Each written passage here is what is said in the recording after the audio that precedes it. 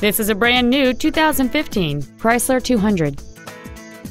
It features a 3.6-liter six-cylinder engine, an automatic transmission, and all-wheel drive.